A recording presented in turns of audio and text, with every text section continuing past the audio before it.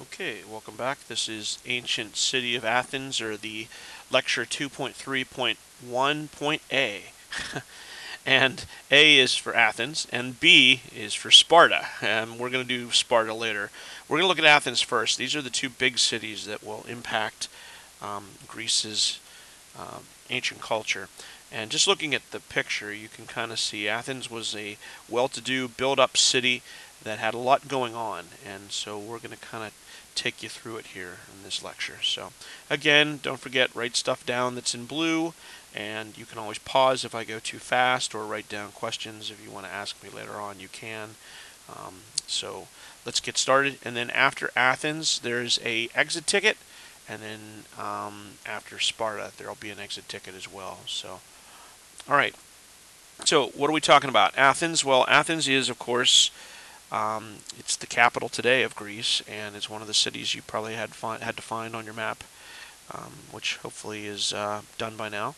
And when we look at the um, city of Athens, that last or two two slides ago, you saw a big mountain, and on top of the mountain above Athens was this giant outcrop of buildings called the polis, and the polis was like the city center and it had a lot of different things going on in it. It had a marketplace, it had a temple, um, it had a giant statue of uh, Athene, Athena, which was uh, that's how Athens gets its name is her, and she's like their patron goddess of the city. And you can see in the picture here, people would walk up to the top, and so this this served as much as the same function uh, having a market, place to eat, hang out, worship the gods. It served pretty much as uh, all of these things a place to worship, meet friends, market, government buildings, and so on. And so you'll want to jot that down so that you know. Um, while you're doing that, I'll just speak to the word poli. Uh, poli or polis, metropolis means city. The word poli means many, many. So uh, political, politics means the view of many people or uh, police means taking care of the people. So we get the word polis or poli from the Greeks, and it's still something we find in uh, language today. So, all right, moving on, or if you need to pause it and write this stuff down, please do so because I'm going to keep showing you more about the polis. On the polis, like I had mentioned before, there was this giant statue of Athena. Now, it's not there anymore. Um, later on it'll get taken, either knocked over or carried away. Um, there was a statue, though, in one of these other buildings I'm going to show you here in a minute. In the next slide, there was an inside statue, too. So here was the outside. This is what we think it looked like. These are carvings today or restorations. but And this was an artist's painting of inside um, which we'll look at. And this was supposed to be a gold statue with ivory skin and jewels and stuff like that. So this would be a place that people would come and pray to Athena. Athena was the goddess of wisdom, and uh, she was kind of like a jack of all trades. She could do everything well. She could fight well. She was smart.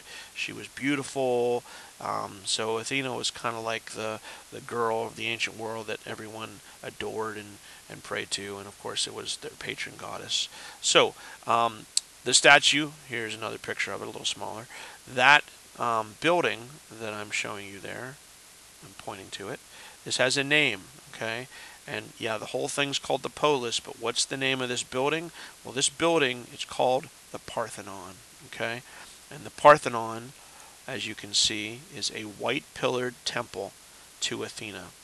And again, this was her city, and this is her temple on top of the mountain and it was actually built after a great victory uh, over the Persians, which we'll look at probably into next week. Uh, when Persia shows up, Greece ends up fighting a bunch of battles, which I had you also find on your maps. But uh, anyway, you can kind of see what the polis would have looked like, and the Parthenon is, of course, something we're going to talk about here in a second. Now, if you look at the Parthenon today, this is all that's left of it, and you can kind of see the modern buildings down below. Um, notice the roof is gone. Um, it's withstood um, hundreds of years of earthquakes. It's been struck by lightning. The Turks actually used to store their gunpowder in there, and then one day it caught fire and blew the roof off. So the poor Parthenon's been rather beat up, and as is all the uh, um, polis. You can see the polis doesn't have much in terms of Acropolis doesn't have much in terms of buildings anymore left.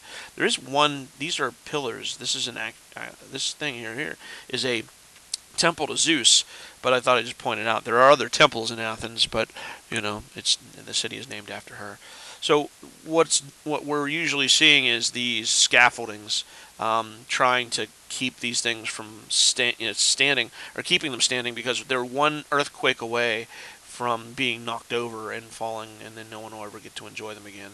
Um, and you can see the Parthenon uh, from from here, and of course um, there was that ramp you saw in the earlier picture where people still will walk up up onto the hill above um, Athens to see it. Uh, looking down over the cliff, like if you're like if you if you go over to this cliff and look where these people are and look straight down, uh, you would see this cliff, and this is how high up you are. And call your attention to this horseshoe shape um, structure, uh, ruins, and you can see what it used to look like. It was this. Here's the horseshoe shape. This is the stage. Uh, the people would sit. And so the Greeks also invent theater, and next week I'll have you do an activity or a web quest with um, looking at some of the first um, plays and things like that that the Greeks had. But getting back to the Parthenon, if you stare at the Parthenon, um, you'll notice a couple things. First of all, uh, yeah, you can see the roof's gone. Uh, it's pockmarked from pigeon holes, and you know it's obviously full of rubble and bricks and stuff that have fallen from numerous earthquakes. But it is still standing, barely, just the shell of it anyway. And if you look at it, um, there's a couple optical illusions. First of all, the base of the pillars are fat. And so when you look at the bottom, they're bigger than they are at the top. They're actually more narrow at the top. And that's because it's an optical illusion. When you stare at it, um, you see it as straight. Because if it were built perfectly straight, it would look to the human eye awkward. So they kind of knew that. The other thing is that these stairs are not straight. They actually bend upward in the middle. It's like almost like an arch. Again, it was made so that when you look at it from a distance, it would look straight. So there's all kinds of like strange mathematical stuff going on with the Parthenon, and um, and of course there's there's all kinds of uh, theories as to why the Greeks did that. But if you look at it, it should probably remind you of a famous building that you know, which would be the Lincoln Memorial, right? If you've ever been to the Lincoln Monument down in Washington, D.C., it has the same architecture. And that's because when our founding fathers, Madison, Jefferson, and those guys, when they laid out the city of Washington, um, now this was built much later, but a lot of the architecture used in government buildings is copied from the Greeks. So we wanted to pay them tribute. We are not the first democracy. And so we copied the Greeks, and so we copied their architecture. So when you go to DC, you would think, wow, it looks like I'm in ancient Greece. And that's because, you know, that was not done by mistake. That was us tipping our hats to the Greeks. And uh, again, you can see the scaffolding. They're always fighting, you know, to keep this thing standing upright. And I'm told they're going to build a replica. And I'm also told there is a replica here in America, uh, I believe out in Memphis, Tennessee. So I don't know. Um, it, I've never been there to see it, but I'm told it's pretty neat. And this would be the floor plan of how it's laid out with the different pillars, and inside would be the statue, uh, which you saw. And there's other side temples and uh, like little like this one here is to Nike.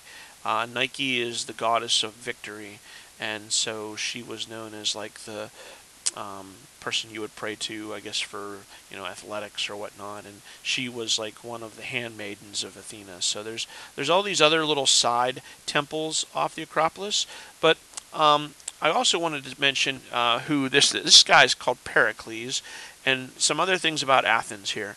Uh, Athens invented democracy, so I already mentioned that, but I think you should jot it down so you remember it in your notes. And the guy who came up with the concept is this guy called Pericles, and like we we often say like today you know we give George Washington credit for being our first president and you know and their forefathers. Obviously they were more than just George Washington setting up democracy but he's a figure that comes to mind. Well when you talk about ancient Greece and democracy Pericles is like their um, founder for democracy. And another thing we get from the Greeks is trial by jury, the idea that you commit a crime and you are then going to be judged by you know a group of your peers. That is something we also get from the Greeks. And so, lo and behold, that is a picture from the U.S. Supreme Court building. But uh, again, you would think you're in ancient Athens, right? So even our highest court of the land looks like a Greek Parthenon, okay? And each man got a chance to serve in the assembly. I'm sorry, girls.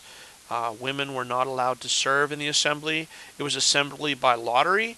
Your names all got thrown in a bucket, and then they would draw names out at random, and you might even get chosen to serve. Um, uh, there were different types of um, magistrates and stuff. So uh, some people say this is a good or a bad system. I, I don't know. Uh, there's pros and cons to it. If you uh, think of our society today with our uh, politicians, some people think they're corrupt. Um, doesn't matter, Democrat, Republican. There's a lot of corruption in Washington, and I think if you used a lottery system, you would not have career politicians. You would have just normal folks picked. But the downside of that is, what if like the village idiot gets picked and has to go off to Washington and make big decisions? That could be scary too. So uh, sorry, girls, you did not get a chance, but uh, that was something that only men could vote and serve, and women in in Athens anyway had no rights. And you're going to see that's not true with Sparta. Like Spartan women, uh, they were pretty pretty rugged and tough, and, and, you know they had a lot more rights than say Athenian women were almost kept like pets. And you wouldn't actually let a girl out into the streets of Athens unattended um, because something bad could happen, and you always had a male escort or male chaperone uh, everywhere you went, ladies, because that, that's just to show you a difference between Athenian women and Spartan women, which we'll look at uh, later on. All right, the last thing to touch on then Athens, when we talk about Sparta, you're going to see Sparta was like a land power, a land force, but Athens was a sea power, and Athens had the best boats of the ancient world. Uh, they had copied some of the Phoenician ideas. Uh, one of the things, this is called a trireme, trireme, or I've also heard tri- triram, trireme. Um, they obviously had sails that they could sail, but they also had uh, oarmen, double sets of oars on either side, so that they could row. Um, and they would have a guy hit the drum or whatever, and everybody would know when to row. And what's kind of neat was, in times of battle, they would pull down these sails and then you would just get this thing up to running. And you can see this thing here in the middle. That's like a giant chisel, uh, a battering ram. And so once you got your, looks like a duck, once you got your duck up to speed, you would bash into the other boat like this. You can see this guy breaking through this barge here or whatever. And of course, you know, they don't have the sails. They take their sails down because otherwise you could shoot flaming arrows and catch their sails on fire. But the whole idea was that the Athenians used these triremes and just crushed the ancient world. And that was kind of their claim to fame. And uh, they're a little meme here. So that's that's it for about Athens. Um, we'll look at Sparta next. So the, uh, go grab the exit ticket and finish off uh, Athens first. Okay.